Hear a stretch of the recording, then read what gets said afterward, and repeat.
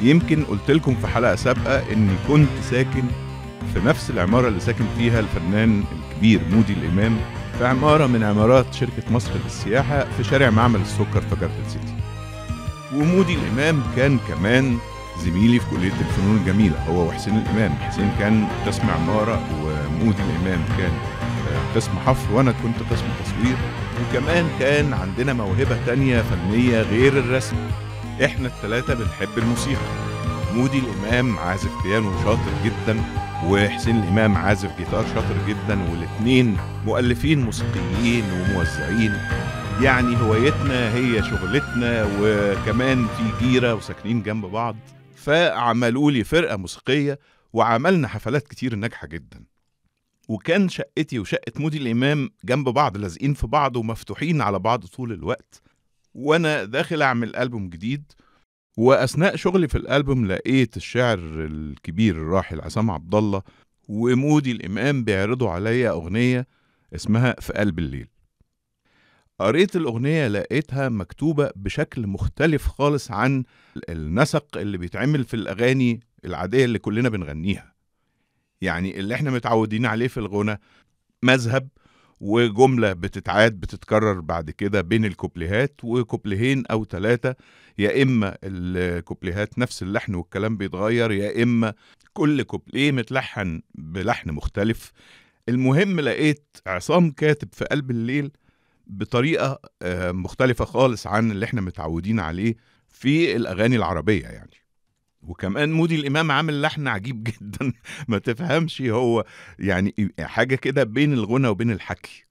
أغنية عايزة حرص في, في إن المطرب يلجم نفسه عن إنه يقول حليات وعرب وزخارف وضروري المطرب هنا يبقى ممثل يشخص الكلمات والمفردات اللي عصام عبد الله قايلها. يعني العلاقة اللي بتنشأ بينه وبين بنت خلاها مهرة حصانة وبقى طلوع الفجر اسمه وصاها للفجر في عيوننا. وبعدين الحصان سنانه ما بتتكتكش من البرد لكن هو بيقول وبرد الخوف بيتكتك سنان الخيل. مفردات جديدة والموضوع نفسه مصوره بشكل مختلف وجديد جدا. واللحن اللي شخصه كمان ومثله مودي الإمام ب... بطريقة ما هياش شبه الطرق العادية في التلحين. مخبيش عليكم أنا وقفت قدام الميكروفون 8 ساعات أغني أغنية. ودي أول مرة تحصل لي. مفيش حاجة اسمها كده إنك تقف عشان تغني أغنية و... أغنية مش ألبوم بحاله يعني. أغنية في 8 ساعات.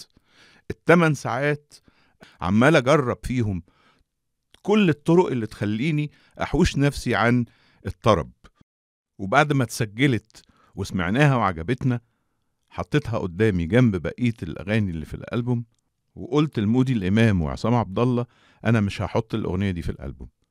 ليه يا ابن الحلال؟ يهديك يرضيك. أقول لهم لا الأغنية دي غريبة دي خواجة دي مش شبه بقية الأغاني.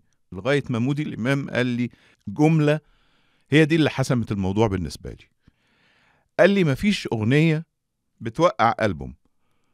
آه في أغنية بتنجح ألبوم لكن عمرنا ما سمعنا عن أغنية في وسط ألبوم بتسقط الألبوم. أنت عجبك الأغنية؟ قلت له آه طبعا جدا بس مستغربها في وسط الأغاني التانية. قال لي خلاص ما دام عجباك حطها في الألبوم وما تخافش إن أغنية في قلب الليل توقع الألبوم. والغريب إن إحنا سمينا الألبوم في قلب الليل. والمفارقة الغريبة إن الألبوم ينزل محدش يسمع عنه. نزل سكيتي زي ما بيقولوا. تقريبا اللي اشتروه أصحابنا بس. كام واحد كده من أصحابنا. وأنا طبعا اشتريت كام نسخة برضه أوزعها على أصحابي هدايا يعني. الكلام ده كان سنة 86 تلف الأيام وبعد 11 سنة أكون واقف على مسرح بيرم التونسي في اسكندرية بعمل بروفا على مسرحية اللهم اجعله خير اللي كان كاتبها لينين الرملي وكان المخرج طارق الكاشف أخرج لي أغنية في قلب الليل ولقيت صديق جاي لنا على المسرح وإحنا بنعمل البروفا بيقول لي ألف مبروك أغنية في قلب الليل كسبت الجايزة الأولى في مهرجان الإذاعة والتلفزيون. وطبعا الجايزة خلت الكليب يتذاع كتير في التلفزيون والأغنية تتذاع كتير في الإذاعات وبدأ الجمهور يسأل آه، آه، الأغنية دي اللي هم عمالين بيشوفوها كتير كل يوم تقريبا بدأوا يسألوا هي دي في ألبوم إيه فيعرفوا إنها في ألبوم في قلب الليل ويبدأ ألبوم في قلب الليل يبيع من جديد كأنه ألبوم لسه نازل دلوقتي. عايز أسمعكم أغنية في قلب الليل اللي كتبها الشاعر عصام عبد الله ولحنها ووزعها الموسيقار مودي الإمام.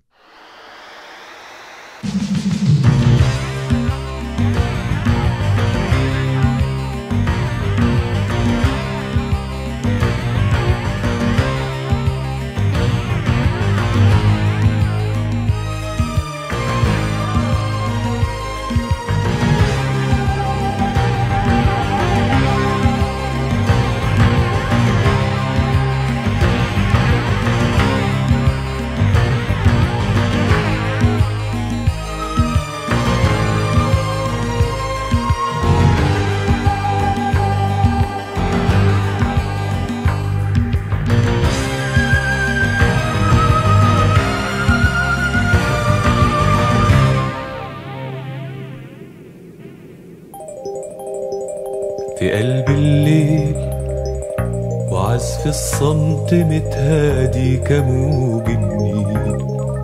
في قلب الليل وبرد الخوف بيتكتك سنان الخيل. في قلب الليل وعزف الصمت متهادي كموج النيل. وبرد الخوف بيتكتك سنان الخيل وما في حد في الشارع سوى مهرة ربط جزع. وما في حد في الشارع سوى مهرة ربط جزع.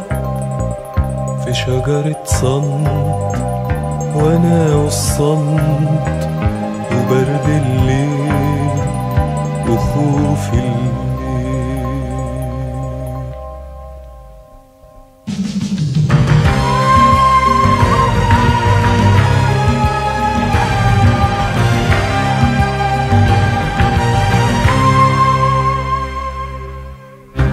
وصهل المهر لم أفهم أخوف مني قامت عاجب سألت المهر لم يفهم كلام مني ولا جاوب.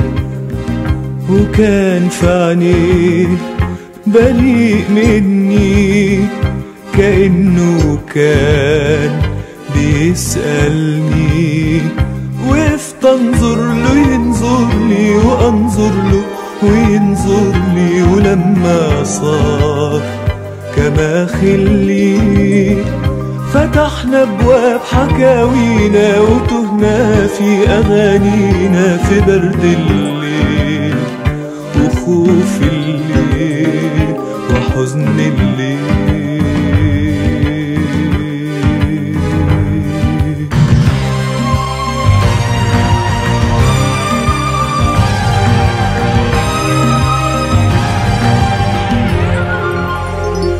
وكان في جيده ايد جرحه وإيد في جيدي ما لمحه لكن حسوا أكيد حسوا وفجأة لقينا أحلامنا وصهل الفجر في عيوننا. مسكت إيده فكتها صهل بمعاني حسيتها. وصار يجري وينساني وصار يجري وينساني وأنا بجري في طريق تاني. وصار يجري وينساني وأنا بجري في طريق تاني. في برد الليل وخوف الليل وحزن الليل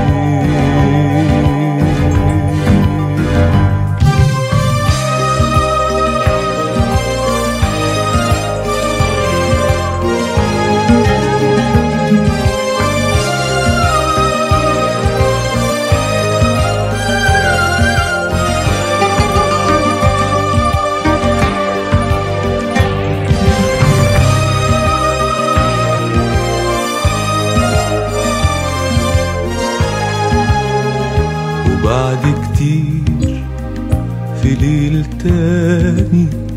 لقيته لوحده من تاني. في جيده ايده ايد تاني سهر تاني.